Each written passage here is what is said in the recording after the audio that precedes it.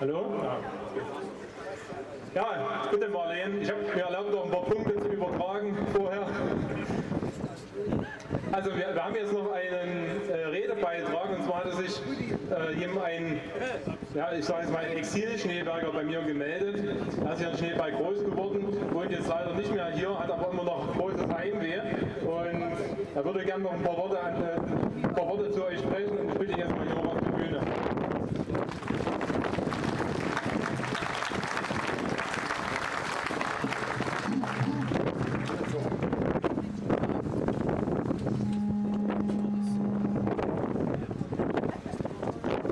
Sehr geehrte Bürger, Stadtvertreter, sehr geehrte Organisatoren. Zunächst möchte ich Ihnen, liebe Schneeberger, als ehemaliger Schneeberger recht herzlich für Ihren Mut sowie Ihre Entschlossenheit danken.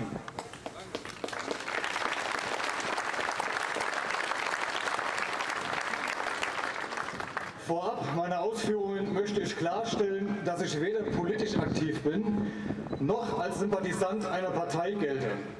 Meine Unterstützung gilt ausschließlich der Heimatverbundenheit sowie dem bisherigen Wohlfühlaspekt einer sicheren, liebevollen und verbundenen Kleinstadt im wunderschönen Erzgebirge, meiner Heimatstadt Schneeberg.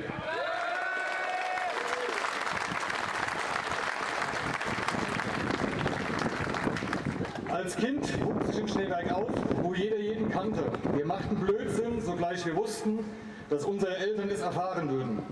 Jeder passte auf jeden auf. Trotzdem durften wir vor allem, konnten wir uns frei bewegen. Es war für unsere Eltern kein Problem, wenn wir uns mit dem Rad auf den Weg zum Filzteich machten oder stundenlang an den Einkaufszentren uns mit Freunden trafen. Selbst zu Zeiten, als die ehemalige Unterkunft für Asylbewerber noch aktiv war.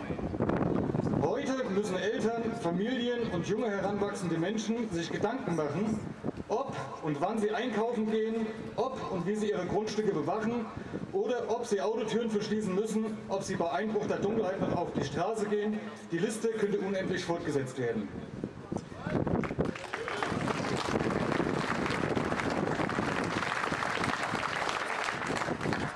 Am schlimmsten allerdings empfinde ich persönlich, dass heutzutage 16-jährige Mädchen sich vor Leuten stellen, um sich zu rechtfertigen, dass sie keine Nazis sind, gleichwohl ich Respekt für diesen Mut habe. Als 16-Jährige.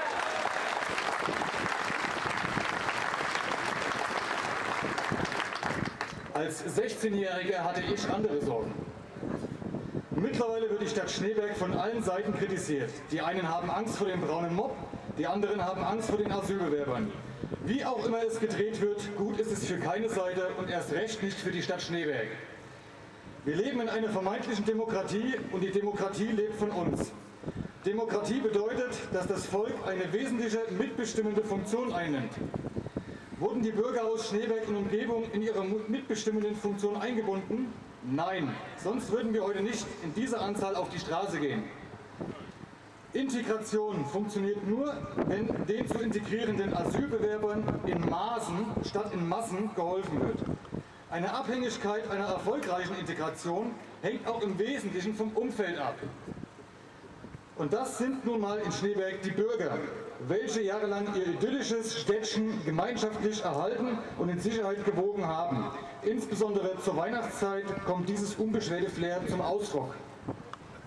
Ich fordere die gewählten politischen Entscheidungsträger auf, sich wieder auf das Wesentliche zu konzentrieren, die Stadt mit allen Bürgern zu vertreten, ich betone allen Bürgern, und nicht eine Stimmung zu erzeugen, welche jede Presse gerne entgegennimmt.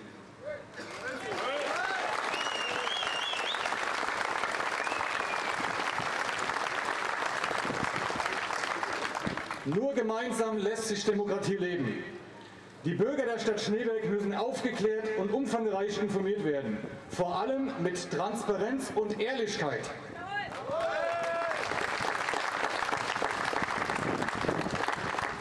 Ich persönlich bin davon überzeugt, dass es gute Vorschläge aus der Bevölkerung geben wird. Wenn man die Presse und den Aussagen des Bürgermeisters Glauben schenkt, gibt es Widersprüche. Laut Presseberichterstattung heißt es vorübergehend. Sie, Herr Bürgermeister Stümpel, sprechen wiederum von Arbeitsplätzen, welche von Asylbewerbern besetzt werden könnten. Genau diese Aussagen machen das Volk und den einzelnen Bürger frustriert und sauer. Klären und informieren Sie endlich vernünftig auf und bitteschön so, dass Sie auch der letzte Bürger versteht.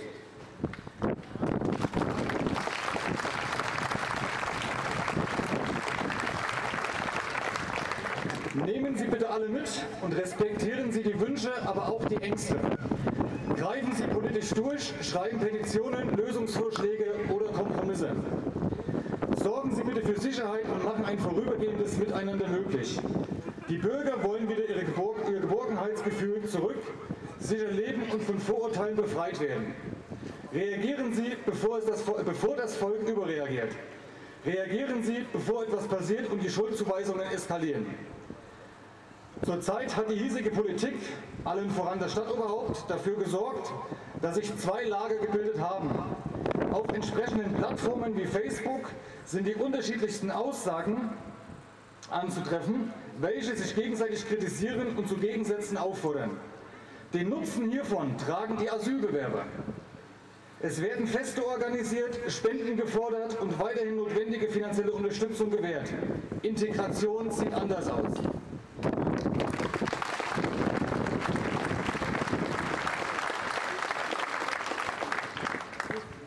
Ich möchte nicht versäumen, auch hier nochmals kundzutun, dass selbst ich als Unternehmer in 500 Kilometern Entfernung von einem Mitglied eines Schneebergers Vereins, dem ich jahrelang angehört habe, mich aufgefordert hatte, dass ich mich an dieser Demo nicht beteilige.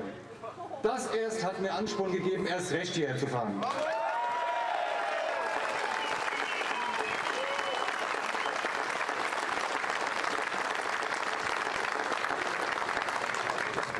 Ich wünsche allen Bürgern dieser wunderschönen Stadt eine zufriedenstellende Lösung, welche den Wünschen entspricht. Ich wünsche allen Bürgern viel Kraft und Erfolg, aber auch Disziplin und Loyalität sich selbst gegenüber. Ich wünsche allen Bürgern unserer Heimatstadt ein Gemeinschaftsgefühl und eine dementsprechende Wertschätzung. Wenn die verantwortliche Politik versagt, soll und muss die Demokratie der Bürger Zeichen setzen. Vielen Dank für Ihre Aufmerksamkeit. Thank you.